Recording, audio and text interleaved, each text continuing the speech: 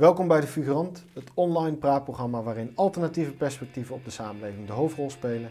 En het onderwerp van vandaag is de vraag: wat is het politieke antwoord op de klimaatverandering?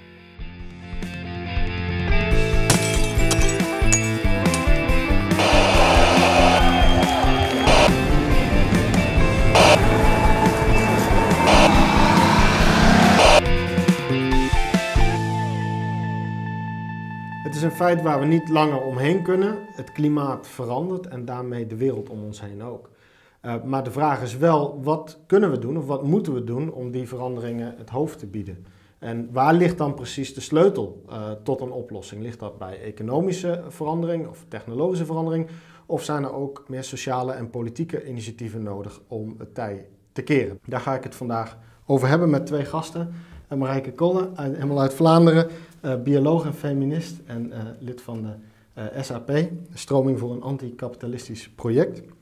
En Jos Reinhout, oud-gemeenteraadslid van de, voor GroenLinks in Nijmegen en werkzaam voor MVO Nederland. Om kort even kijkers een indruk te geven, wat voor, wat voor organisatie is dat waar, waar je actief bij bent? We zijn een, een kleine club van mensen die tegelijkertijd actief zijn in vakbeweging en in sociale actie en tegelijkertijd proberen via websites en discussieavonden mensen meer bewust te maken. Zo kan ik het beschrijven. Ja, prima. En, en, en Jos, uh, uh, MVO Nederland, wat voor organisatie? Uh, MVO Nederland is een, een, netwerk van bedrijven. Er zijn ongeveer 2500 Nederlandse bedrijven die partner zijn bij ons. Of lid, wordt het ook wel genoemd. Um, en dat zijn allemaal bedrijven die iets willen met maatschappelijk verantwoord ondernemen. Nou, sommige zijn echt koploper, die lopen voorop, ver voorop op de troepen soms. Een groot deel is middenmotor en er zijn ook een paar achterblijvers in ons netwerk. Maar de echte achterblijvers die worden natuurlijk geen partner van MVO Nederland. -hmm als we het dan hebben, hè, jullie zijn allebei van, vanuit verschillende invalshoeken met klimaat bezig um, en met klimaatverandering. Natuurlijk, dat het klimaat verandert, dat is gewoon algemene kennis tegenwoordig. Het wordt door sommigen ontkend, maar goed, daar, daar, is, daar is geen enkele grond voor. Dus dat is over het algemeen iets wat, wat, wat, we, wat we voor kennis kunnen aannemen. Tegelijkertijd uh, is de vraag, wat, hoe, hoe, ver staat het eigenlijk met die klimaatverandering? Wat is de status quo op dit moment? Hoe, uh, hoe, hoe, uh, uh, hoe nodig, hoe ernstig is de situatie eigenlijk? Ja, ik denk dat de situatie zeer ernstig is. Wat de consensus nu is bij de internationale wetenschappelijke gemeenschap, is dat de broeikasgassen, de fossiele brandstoffen, de oorzaak zijn van een stijging van uh, de wereldtemperatuur, de globale temperatuur, die nu al zeker 1 graad Celsius is. De schattingen van de wetenschappers zijn conservatief. En wat zien we? Dat op dit ogenblik die opwarming versnelt. Uh, het afsmelten van de Zuidpool bijvoorbeeld gaat veel vlugger dan men ooit gedacht heeft. En dat betekent dus dat de zeespiegel uh, zal stijgen de komende 50, 60 jaar. En dat heeft gevolgen voor heel veel steden die aan de kust gelegen zijn. Aan de andere kant zijn de gevolgen van die klimaatopwarming voelbaar in de landbouw. Um, en in uh, biodiversiteitscrisissen en in uh, extreme weersomstandigheden. Van tyfonen tot extreme droogtes zoals nu in Zuid-Afrika. Dus het is zeer ernstig te nemen. En de emissies van die broeikasgassen dalen niet op dit ogenblik. Daar zitten we mee. Dus het is wellicht ernstiger dan Zeker. we ons over het algemeen op dit moment ja. realiseren. Het is echt heel ernstig, ja, uh, dat klopt. En uh, ik zie nog niet direct dat het direct uh, de andere kant op gaat. Het leidt natuurlijk tot uh, zeespiegelstijging, het afsmelten van poolkappen. Het leidt ook tot heel veel sociale problemen. Er zijn steeds meer mensen die denken dat bijvoorbeeld uh, de vluchtelingenstromen in de wereld ook mede veroorzaakt worden door klimaatverandering. Omdat landbouwgronden niet meer genoeg opbrengen. En de mensen moeten toch eten, dus dan gaan ze ergens heen. Dus de mensen, de dieren, uh, iedereen raakt op drift. Nou, dat is verschrikkelijk. Ja, dat is een, echt een van de grote problemen van deze tijd. Als we dan gaan kijken naar want op zich natuurlijk, hè, zoals gezegd, dat het klimaat verandert is, is niks nieuws. Dat horen we voortdurend overal. Uh, dat suggereert ook wel dat er wat, wel degelijk iets tegen gebeurt. Dat er mensen zich ja. daar actief tegen inspelen. Wat, wat is wat dat betreft de status quo? Wat doen uh, mensen, instellingen, bedrijven, et cetera op dit moment om er iets ja, aan te veranderen? Dat het klimaat verandert is echt al heel erg lang bekend, al decennia. Uh, maar ik heb de indruk dat pas nu, echt de laatste jaren, er een klein beetje actie wordt ondernomen. Heel lang is dat toch uh, een kwestie van een beetje pappen en nat houden geweest. Er zijn inderdaad heel lang ook mensen geweest, op, op hoge posities zelfs, die gewoon het ontkenden dat klimaatverandering überhaupt bestaat.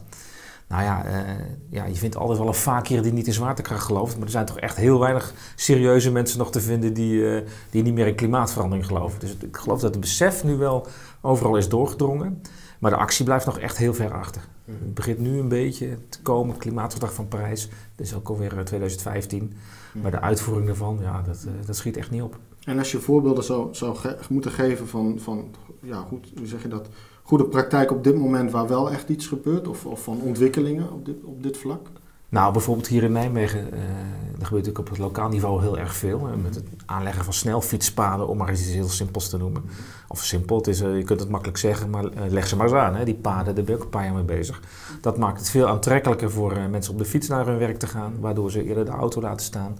Eh, het is ook nog gezonder en, en veiliger ook in de stad. Minder lawaai, minder fijnstof. Dat is allemaal extra meegenomen. Maar ook voor het klimaat is dat heel goed.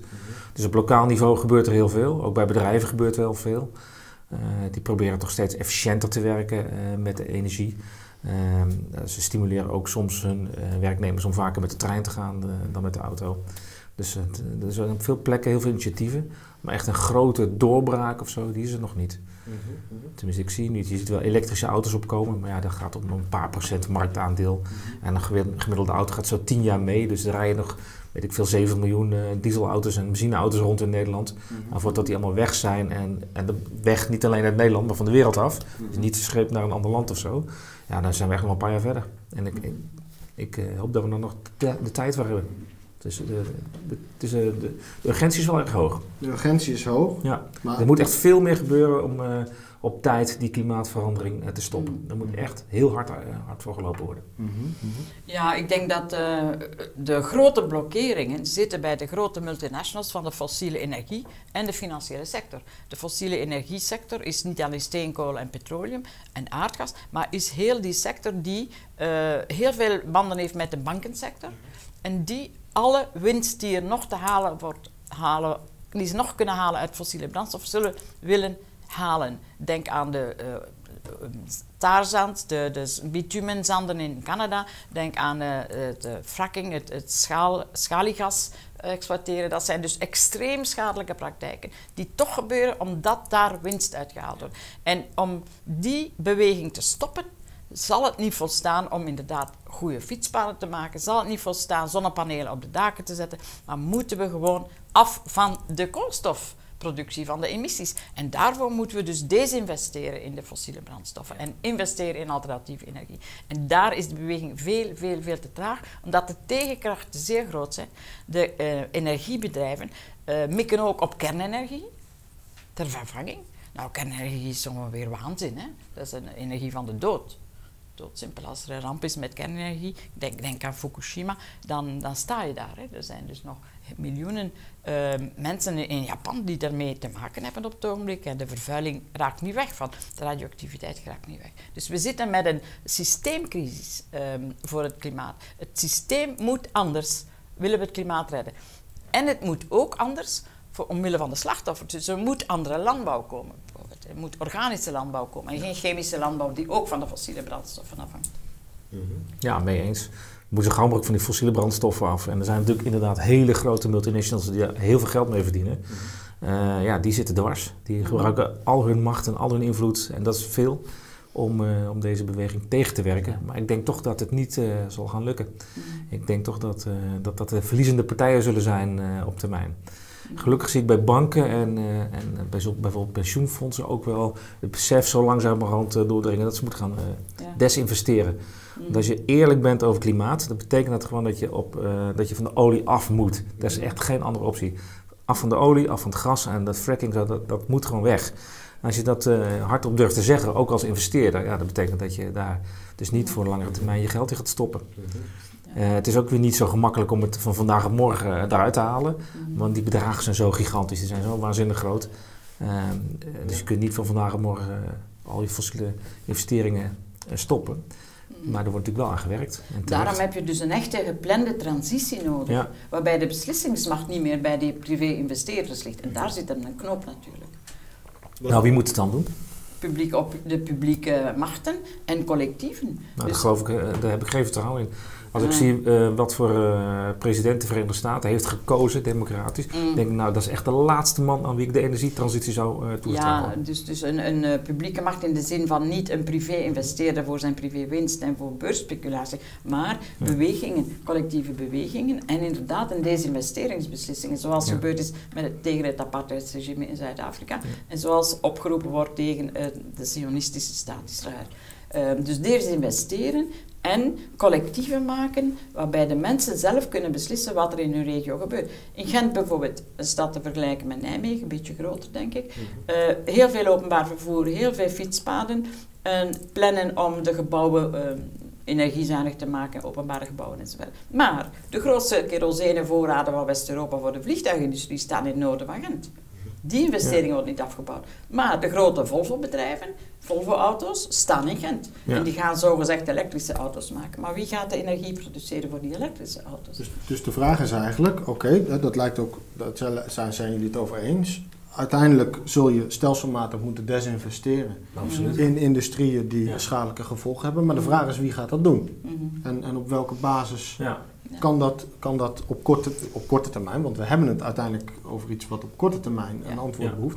Hoe gaat dat op korte termijn gedaan worden? Wat, wat zou jouw antwoord daarop zijn? Nou ja, eh, kijk, eh, ik- als ik, een, eh, als ik een particuliere investeerder was, ik zou mijn geld gewoon niet in oliebedrijven stoppen, want eh, dat, eh, dat is ten dode opgeschreven. Dat, is niet alleen een economisch verhaal, waar je steeds meer over leest, hè, die carbon bubble, en dat is, dat, is, Ja. dat is ook wel een bekend verhaal onder, in de financiële sector.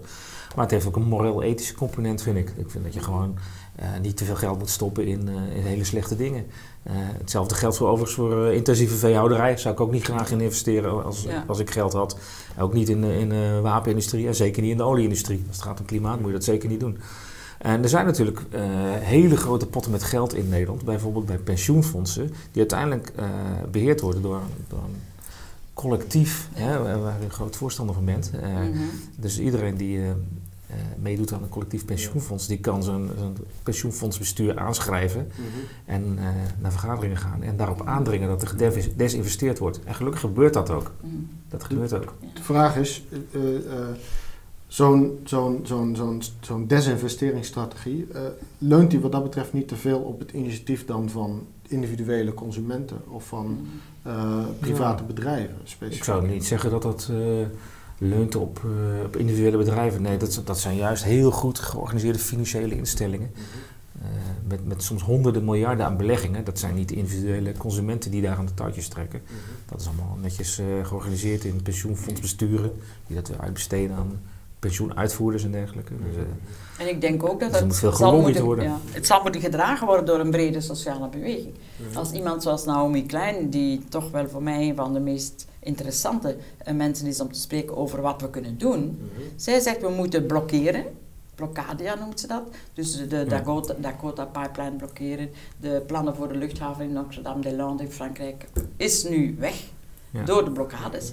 En dus een burgerbeweging die tegelijk- tegelijkertijd een sociale actie en directe actie heeft, maar ook een beweging die werknemers in de bedrijven aanspreekt. En ik denk dat daar de grootste moeilijkheid zit voor ons. Dus mensen in de kernwapens, in de kerncentrale eh, sector, mensen in, eh, in de chemische, chemische sector, de petrochemie in Antwerpen, zijn duizenden mensen. Die moeten overtuigd worden. En de arbeidersbeweging moet overtuigd worden. Willen we slagkracht hebben? Ja. Het is het specifieke belang daarvan, dat je inzet op het overtuigen van werknemers of van... dat zij de industrie kunnen blokkeren. En dat zij kunnen eisen dat er een, een reconversie komt. Mhm. Zij hebben potentieel hè, in de geschiedenis van de arbeidersbeweging de, de macht om het radenwerk stil te zetten. Ja. Maar dus eh, binnenin de vakbeweging heb je twee dingen. Je hebt een internationale vak, ETUC, eh, vakbeweging die zegt uh, we moeten iets doen aan het klimaat. En die zijn voor energiedoelstelling en voor een energietransitie en uitstap. Maar met behoud van uh, tewerkstelling en reconversieplannen. Want de mensen gaan natuurlijk niet zeggen, ik wil die steenkolencentrale waar ik werk, ik wil die wel stopzetten en laat mij maar werkloos zijn. Nee, je moet dus alternatieve plannen hebben. Ja. Nou ja, ik, ik, hoop dat de vakbeweging dat ook gaat doen, want uh, ik ben al 25 jaar lid, uh, ik ben al 25 jaar lid van de vakbond. ben al 25 jaar lid van de vakbond, maar ik ben wel een paar keer op het, moment, op het punt geweest om mijn lidmaatschap op te zeggen. Omdat ik juist vond dat in Nederland in ieder geval, in Vlaanderen weet ik dat niet zo, dat de vakbonden veel te traag opereren als het gaat om de energietransitie. Ze kijken wel naar de banen en het behoud van banen, het behoud van banen in kolencentrales en zo. Ik vind dat kortzichtig. Je moet, je moet ook voor je eigen mensen, je eigen leden, volop inzetten op die energietransitie. Dus ik, uh, ik vind het prachtig om de vakbonden erbij te betrekken. Maar laten we er alsjeblieft niet op wachten, zeg. Uh, er, zijn, er zijn heel veel slimme en, uh, en intelligente en betrokken mensen in, gewoon in bedrijven...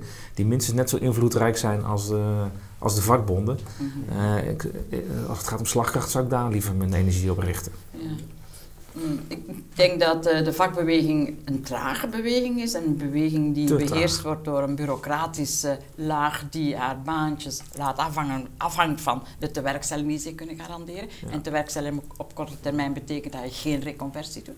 Dat is zeker zo. Maar aan de andere kant uh, denk ik dat um, een beweging, als ze uh, slagkracht heeft in de maatschappij, ook haar weerklank zal hebben in de vakbeweging. Ja.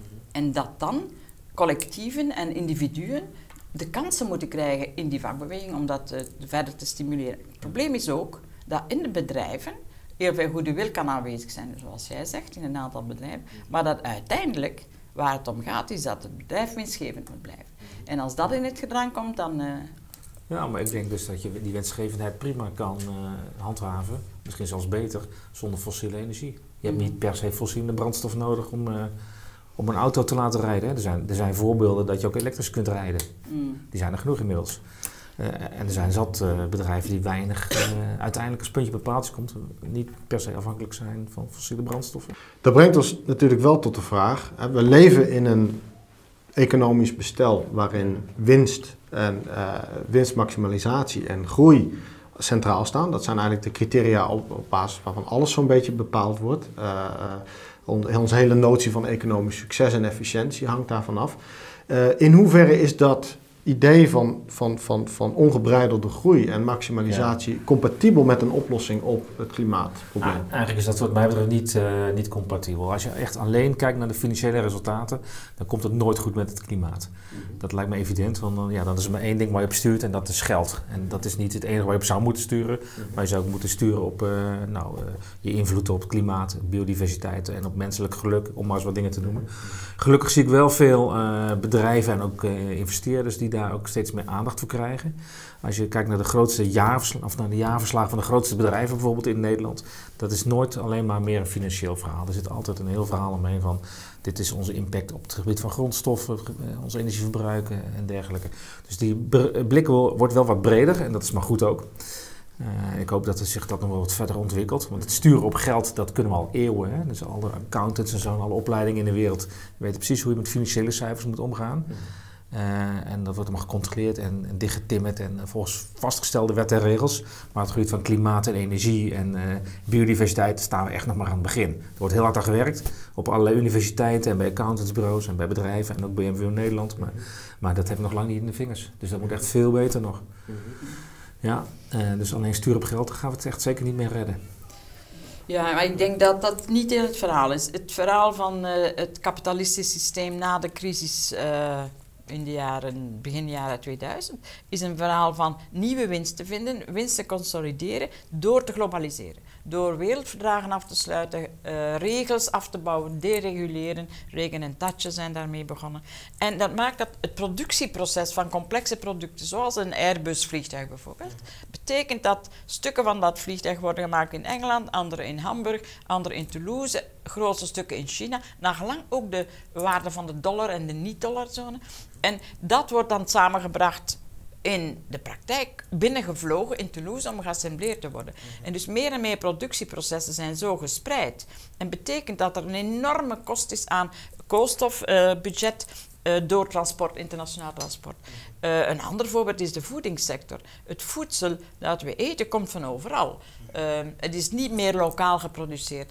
En dat ook is een aanslag aan, aan, op het klimaat. Dus die globalisering. Het feit dat de vliegtuigindustrie en de scheepvaartsector tot nu toe geen tax betalen op de ben, een benzineverbruik, op een brandstofverbruik, is ook een van die factoren. Ja. Dus actie dat laatste vind ik overigens een heel goed uh, punt. Hè? Dat, ja.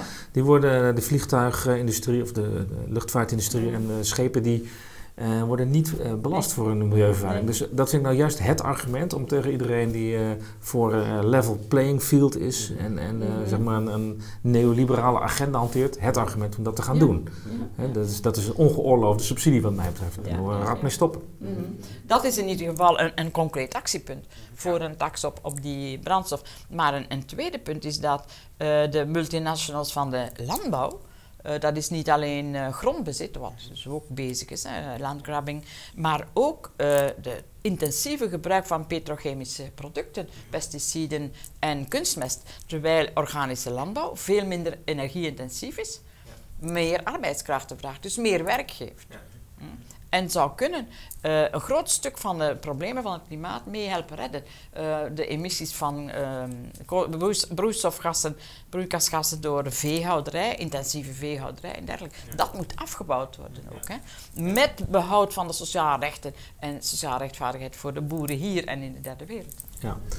Ja, ik ben niet per se tegen internationalisering hoor. Dat, uh, de, juist de, te enge focus op wat lokaal is of nationaal is, dat vind ik veel enger. Nationalistische bewegingen, dat vind ik veel enger dan internationalisering. Zolang alles en iedereen maar met elkaar verbonden is, dan voelen we dat misschien ook een keer. Uh, dat lijkt me alleen maar een, een voordeel. Um, maar internationaliseren door boontjes uit Kenia te kopen is absurd. En rozen laten kweken op de hoofdvlaktes van Ethiopië, die dan geverfd worden om als blauwe bloemen te verkopen in Saudi-Arabië, is even absurd. Nu, nu, zou ik, hè, als ik, als, ik, als ik me daar kritisch toe verhoud, zou ik wel kunnen zeggen, ja, maar de, dat is nu eenmaal hoe ons economisch bestel functioneert. Hè? Mm, gaan we, gaan we uh, dat soort problemen oplossen zonder te gaan naar, het kern, naar de kern van hoe onze economische, ons economische systeem uiteindelijk in elkaar zit. Met andere woorden, is het mogelijk om na te denken over, een, over kapitalisme, om het maar even zo te noemen, waarin niet alleen winst centraal staat? Of moeten we dan, moeten we dan echt denken over een andere, uh, impliceert dat een andere visie op de samenleving als geheel of op economie als geheel? Nou ja, als je echt een, een ouderwetse kapitalist bent, een ouderwetse neoliberaal, dan, dan wordt het heel moeilijk om dat allemaal met elkaar te gaan rijmen. Mhm. dat, uh, dat lijkt me echt een hele intellectuele uitdaging. Maar ik, ik, denk dat het heel goed mogelijk is om ook prijzen te gaan berekenen voor uh, zo heet dat dan in onze vaktermen, voor externaliteiten. Nu is het gewoon gratis om CO2 de lucht in te spuiten. Uh, de, de, atmosfeer is eigenlijk een soort open riool. Mhm. Dat is belachelijk. Uh, als ieder, iedere burger die moet ook betalen voor het ophalen van zijn huisvuil. Dus mhm. waarom zou een bedrijf niet moeten betalen voor de schade die die veroorzaakt aan milieu? Dus dat is een heel uh, ouderwetse manier van redeneren. De markt gaat het oplossen. Je gaat uh, dingen die je niet wilt zwaarder belasten, mhm. bijvoorbeeld CO2-emissies. En dan zal de markt ervoor zorgen dat die CO2-emissies omlaag gaan. Dus eh, dat is op zich eh, geen grote denkstap. Wat je wel nodig hebt is iemand die zo stoer is en zo dapper is om dat ook daadwerkelijk te gaan doen. Hè. Eh, daar mankeert het nog een beetje aan. Dus, dus jij zegt bepaalde correcties op de markt zijn nodig? Wat ja, forse correcties op de markt. Ja, want nu, nu wordt er gewoon nooit betaald voor, uh, voor schade aan ecosystemen of aan het klimaat of, uh, of uitbuiting van arbeiders. Dat komt gewoon veel te vaak voor en veel te veel bedrijven komen er te gemakkelijk mee weg. Ja. Maar je hoeft niet te zeggen uh, dat het hele kapitalisme daarmee een uh, totaal onwerkbaar systeem is. Dat werkt al eeuwen vrij goed. Mm -hmm. uh, voor sommige mensen werkt het in ieder geval goed. Maar nu is de uitdaging om dat zodanig te, te hervormen, radicaal te hervormen, drastisch te hervormen, dat, dat, je, dat, dat je die externaliteiten niet meer zo hebt. Marijke, ik ben het daar helemaal niet mee eens. Het kapitalisme bestaat niet al eeuwen en eeuwen. Het kapitalisme, geglobaliseerde industriële kapitalisme, bestaat 250 jaar. Nou ja, dat zijn toch 250 jaar, dat is niet eeuwen en eeuwen. Ons klimaat bestaat al eeuwen en eeuwen. Na de laatste ijstijd, ongeveer 12.000 jaar geleden, uh, hebben we de huidige situatie. Maar wat het kapitalisme gedaan heeft, is alle bestaande ecosystemen vernietigen. Vergeet niet 500 jaar koloniale geschiedenis, dat is de oorsprong van de zaak, is ook 500 jaar milieuvernietiging. Daar oh, heb je ja. reisverhalen vanaf de 17e eeuw over. En het kapitalisme vandaag is niet in staat de landbouw terug organisch te maken en in belang van de, van de boeren. Elke landbouwhervorming die geprobeerd is op grote schaal, is een kapitalistische landbouwhervorming geweest. Denk aan India, de, de groene revolutie. Sovjet-Unie. Ja, even slecht. Even ja. slecht, grootschalig, mechanistisch. Dat was niet direct een kapitalistische nee, aanpak. Nee, dus maar... daar ligt het niet het aan, was, zou ik zeggen. Het, het, ligt er wel aan in de zin dat zij de productivisme van de kapitalistische landbouw nabootsten en illusies hadden daarin. Plus dat er ook geen sociale controle was. Maar als je ziet dat in India op dit moment miljoenen boeren zelfmoord plegen omdat ze schulden hebben. Ja. Dus de landbouw is fundamenteel in crisis. Ehm, ik denk dat een globale aanpak, bijvoorbeeld van de idee van publieke sector, ja. met alle kritiek op bureaucratisering daarvan, kan een publieke sector een gemeenschappelijk goed zijn voor iedereen. Waarom kunnen we niet actie voeren voor gratis openbaar vervoer en dan de auto afbouwen? Ja, je staan dat er een sociaal alternatief is. Ik denk dat we in die richting moeten denken. Dat we moeten denken in het, het terug gemeenschappelijk maken van een aantal zaken. Zoals een geen privé-gezondheidsdiensten, maar publieke gezondheidsdiensten. Gratis onderwijs en kansen voor iedereen. Uh, huizen. Waarom zijn zoveel duizenden mensen in de Verenigde Staten en later in andere landen, zoals in Spanje, uit hun huizen gezet? Ja. Omdat de winst niet dus als, als ik je goed begrijp, zeg je eigenlijk het beginpunt of de kern van een, een, een groene politiek ligt bij Sociaal-economische... Structurele maatregelen, ja. Sociale maatregelen. Nou ja, eh, kijk, over de doelen zijn we het wel eens. Hè? De, de, dat is ook helemaal niet zo uh, vreemd. Want iedereen wil een mooie, ideale wereld waar, waar het klimaat niet, uh, klimaat niet bedorven wordt. En de dieren en planten goed kunnen leven. De, over de doelen zijn we het eens. De route om daar te komen, daar verschillen we misschien wel van mening over. Ik heb gewoon niet zoveel vertrouwen in, in, in de kracht van de overheden of van vakbonden of maatschappelijke bewegingen. Dat, die moeten ook hun ding doen. Maar ik vind niet dat je bedrijven buiten schot mag laten. Die moeten ook hun ding doen. En dat, daar zijn ze zelf verantwoordelijk voor. En als ze dat op een slechte manier doen, dan verdienen ze, dat, verdienen ze afgestraft te worden eh, op de markt. In eerste instantie, want uh, beleggers die, die kunnen met hun geld heel goed sturen. Of door consumenten. En als ze uiteindelijk niet willen luisteren, dus doorgaan met uh, onwenselijke praktijken die we maatschappelijk onwenselijk vinden, dan, dan op een gegeven moment moet er wetgeving komen. Maar ik zou nooit aan de kant van de wetgeving beginnen, want dat slaat heel veel innovatie dood. En dan gaan bedrijven alleen maar eh, op zoek naar de mazen in de wet. Dat is het paard achter de wagen spannen. Ik denk dat inderdaad de individuele bedrijven niet het onmiddellijke doel is, maar dat er een maatschappelijk debat moet zijn, gedragen door een milieubeweging, dat het heeft over wat wensen we nu eigenlijk in onze maatschappij. We weten toch wat we wensen? En daar zijn er geen, daar is de, een draagvlak voor gratis openbaar vervoer en een politieke actie daar rond, daar zal de automobielindustrie tegen zijn. Ik kan, garandeer je dat. uh, een draagvlak voor terug een openbare gezondheidsdienst die die naam waardig is en niet een speelveld voor de multinationals van de farmaceutische nijverheid. Ja reglement en openheid, um, uh, prijsbepalingen van geneesmiddelen. Uh, die dingen hangen samen met een milieubeleid. En ik denk dat daar de krachten zullen botsen. En laat ons zeggen, oké, ik geloof wat jij zegt, dat in een aantal bedrijven mensen nadenken. Hè? Ze zijn niet gek, hun kinderen zijn ook slachtoffer van de milieucrisis. En laat ze dan voorstellen doen. Maar wie beslist daar uiteindelijk over? De technici? De wetenschappers of de gemeenschap? Of de politici? Nee hoor, die politici gaan helemaal niet over wat er in bedrijven gebeurt. Politici die hebben, die hebben een behoorlijk mandaat. Ik ben zelf uh, gemeenteraadslid geweest. Maar er zijn ook heel veel dingen waar de politiek gewoon niet over gaat. Dan kun je wel willen dat, dat, dat de politiek iets doet aan die bedrijven. Maar ze gaan er niet over. Daarom zou ik zeggen, laat de politiek doen wat de politiek kan doen. Laat vakbonden doen wat zij kunnen. En laat bedrijven ook hun verantwoordelijkheid nemen en zelf uh, verantwoordelijk ondernemen. Uh, en ik verantwoordelijk helemaal... ondernemen ten opzichte van wie en op welke manier wordt dat gecontroleerd? Dat is mijn vraag. Nou, ten opzichte, eh, ten opzichte van allerlei spelers. Dat zijn niet alleen aandeelhouders, dat zijn ook medewerkers, dat zijn ook buren, klanten en dat zijn ook leveranciers. En zeker in Nederland zijn leveranciers vaak uh, andere bedrijven in andere landen van de wereld, in Afrika, in Azië, waar ook maatschappelijke problemen spelen. Mhm. Dat is trouwens een andere reden dat ik helemaal niet zo voor die lokale focus ben. Mhm. En die ketens zijn heel lang en ook daar hebben bedrijven verantwoordelijkheden. Daar, daar zou ik graag nog even op, op, inhaken, want we hebben het over politieke besluitvorming, we hebben het over de vraag bij wie die bal wat dat betreft ligt. Uh, nu kun je natuurlijk afvragen. Uh, de status quo is misschien op een, inderdaad zo dat bedrijven uh, wat dat betreft initiatief moeten nemen. Maar op zich kan dat politiek natuurlijk veranderen.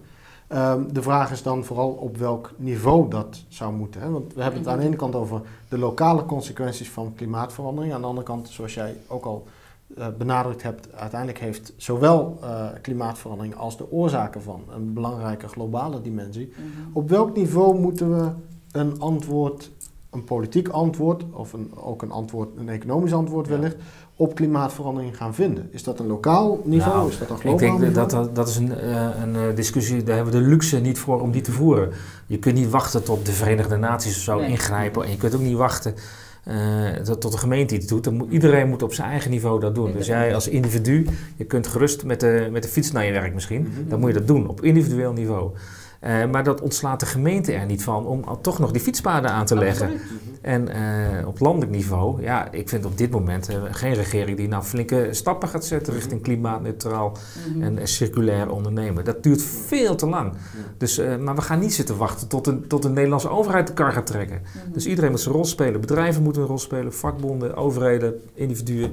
Uh, en we kunnen niet wachten, of we kunnen niet wijzen, jij moet mijn probleem oplossen. Of jij moet het nee. weer op. Dat werkt niet. We moeten echt met z'n allen doen. Op de COP25 in Parijs, de laatste COP in Parijs, zijn nationale energieplannen afgesproken ja. voor de transitie. Die nationale plannen zijn beneden alles. Zijn beneden de doelstellingen van 1,5 graden of, of zelfs ja. 2 graden. Dus de nationale plannen, als ze gepubliceerd zijn, moeten ten eerste verbeterd worden. En ten tweede controle hebben van, van de bevolking daarop. Er moet kritiek, er moet een beweging komen. Dat is het punt. Een beweging komen die dat bekritiseert of die zegt het is niet genoeg. In België, in België op dit ogenblik ligt dwars in verband met de energietransitiedoelstelling van de Europese gemeenschap. Die willen ze naar 33% in plaats van 30% vernieuwbare energie. Waarom? Omdat de Vlaamse regering tegen is. Waarom is de Vlaamse regering tegen? Omdat het N-VA niet overtuigd is. En de N-VA is een klassiek rechtse of zelfs uiterst rechtse partij die op dat punt super neoliberaal denkt en absoluut niet milieuvriendelijk denkt. En daar moeten we dus ook iets aan doen. Ja, dus maar, ik, wil jou zeggen, die beweging die is er toch al? Ja, natuurlijk, uh, gelukkig is er een milieubeweging. Gelukkig zijn er partijen als de Groenen en GroenLinks uh, die dat debat al heel lang voeren. Mm. Maar uh, ja, dat is ook mijn ervaring als raadslid. Je gaat echt niet iedereen overtuigen. Die rechtse partijen, mm -hmm. ja, die bestaan ook. En die mensen die hebben een ander beeld van de wereld. En die krijg je ja, je kunt hoog en laag springen, maar die krijg je niet overtuigd. Die, die, en daar ga ik ook niet op zitten wachten. Je, je, je, pleit, voor een, je pleit voor een pragmatische. Je moet daar pragmatisch mee omgaan. En uh, je merkt nu dat van oudsher conservatieve partijen, zoals zelfs de VVD en, en uh, in Nederland, die, die beginnen ook een beetje het licht te zien. Eindelijk. Ja, wat u en ik denk ik al twintig jaar uh, roepen en, en de milieubeweging nog veel langer. Dat begint daar ook door te dringen. Maar we gaan toch niet twintig jaar wachten tot iedereen overtuigd is. Nee. Dat duurt gewoon echt te lang. Dus je moet dat pragmatisch doen. En soms loop je dan een beetje voor de troepen uit en soms word je dan voor gek verklaard of uitgelachen. Nou, dan moet het maar. Ja. Ik denk inderdaad dat uh, alle alle middelen moeten gebruikt worden om die klimaat, klimaatramp af te wenden, als het nog afwendbaar is. Uh, bijvoorbeeld uh, uh, een land zoals Bangladesh gaat onderlopen uh, vergelijk ja. met Nederland. Uh, hier hebben we een, een deltaplan gehad. Dat bestaat niet in Bangladesh. Daar leven de mensen in de modder, de arme boeren, en op kleine dijkjes ja. van 20 centimeter hoog. En als, het, uh, als er een orkaan is, lopen ze onder. Dus ik denk inderdaad dat alle pragmatische middelen moeten gebruikt worden, maar tegelijkertijd moet er een bredere beweging komen. Wij gaan in België nu oproepen om op 12 november, denk ik, de datum, een nationale staking te doen voor het klimaat een staking als een burgerbeweging die mhm. zowel vakbonden probeert ja. daarbij te betrekken, werkplaatsen, als jeugdbewegingen, als werklozencomité's enzovoort. Mhm. Een staking voor het klimaat van symbolisch één uur. Zoals de vrouwen gestaakt hebben vorig jaar. Ja. Tegen het geweld op vrouwen. Ik denk dat zo'n bewegingen, dat is mijn manier om daaraan te denken, uh, ook een stap vooruit kunnen zijn die het bewustzijn veranderen. -hmm. uh, zelfs bij stemmers op NVA. Tot, ik hoop het, ja. ja. Tot, slot, ik bedoel, je hebt het over sociale bewegingen, uh, uh, ook van, van, van, vanaf lokaal niveau georganiseerd. Maar zijn er voorbeelden van sociale bewegingen die recentelijk succes hebben gehad hierin? Of die hier een, een bepaald potentieel in laten zien als ja. het gaat om klimaatverandering? Ja, ik denk vooral aan uh, de beweging in Frankrijk in Notre-Dame-des-Landes, ten zuiden van Nantes waar dus een zone, een natuurgebied, uh, half moerassig en zo, was voorbestemd door een sociaaldemocraat in de jaren 80 om een supernieuwe luchthaven voor het westen van Frankrijk te worden. Die grootse plannen zijn geblokkeerd geworden door een coalitie van de boeren, lokale boeren die niet wouden weggaan, uh, milieuactivisten en een radicaal linkse, eerder anarchistische beweging. Mhm. Die hebben de zone bezet. Ja. En die noemden ze dat de ZAT, de zone à défendre, de te verdedigen zone. Die bezetting was zo populair. Er zijn verschillende nationale manifestaties naartoe geweest en dergelijke. En de regering Macron heeft dus gezegd, we gaan het dus niet doen. Want ja. eigenlijk is het een waanzinnig project. Mm -hmm. En dat is een overwinning. Tegelijkertijd wil de staat zijn prerogatieven houden van uh, controle. Dus zijn alle mensen die daar zijn gaan leven in nieuwe levensgemeenschappen, zijn verjaagd nu ja, door uh, de, de progressieve, zogenaamde progressieve Macron. Mm -hmm. Het is niet van zijn schoonste kant, maar het is een overwinning. Mm -hmm. um, en dergelijke overwinningen tellen. Uh, overwinningen tegen grootschalige absurde betonprojecten, mhm. overwinningen tegen kernenergie zijn belangrijk uh, om de milieubeweging en dus ook de klimaatbeweging meer zelfvertrouwen te geven, meer actiemiddelen en meer populariteit. Ja. Mhm. Ja, ik ben blij dat dat soort uh, succesverhalen er zijn, want die heb je echt nodig. Uh, anders word je wel heel erg ontmoedigd. Uh, dus ik, ik, hoop ook dat die volgende staking voor het klimaat ook zo'n succes mhm. wordt. Mhm. Maar ja, tegelijkertijd blijf ik er maar op hameren dat ook mensen die niet gevoelig zijn voor zo'n middel, toch aan te spreken zijn op, op hun verantwoordelijkheden op andere manieren. Ja. Bijvoorbeeld ook op vlak van de gezondheid. Uh, de pesticidengebruik in de voeding, die, dat in de voeding terechtkomt. Mensen gaan meer en meer organisch kopen. Mm De idee om minder vlees te eten. In België is de laatste drie jaar de vleesconsumptie met 16% gedaald. Dat is een aanzienlijk aantal. Waarom? Omdat er veggie-dagen werden ingevoerd, de veggie-donderdag.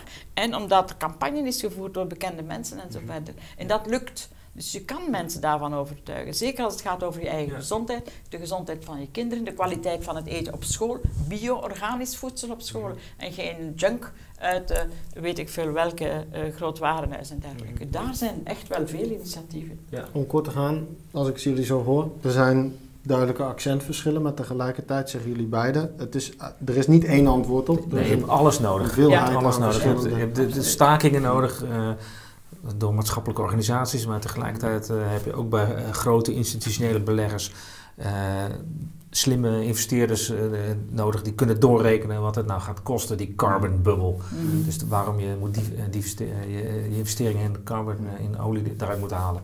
Die heb je ook nodig. Die staan misschien niet voor op straat mhm. te demonstreren, maar die doen achter het scherm op kantoor ook goed werk. En ik denk niet dat je de een uh, niet, niet Nee, precies. Je hebt ze allebei nodig. Ja. Gelukkig. Dat lijkt me op zich een mooie conclusie om nu mee te eindigen. Het biedt in ieder geval heel veel verschillende perspectieven op mogelijke antwoorden op klimaatverandering. En daar houden we het eh, voor vandaag in ieder geval bij voor deze uitzending van De Vierhand. Hartelijk dank voor het kijken en tot een volgende keer.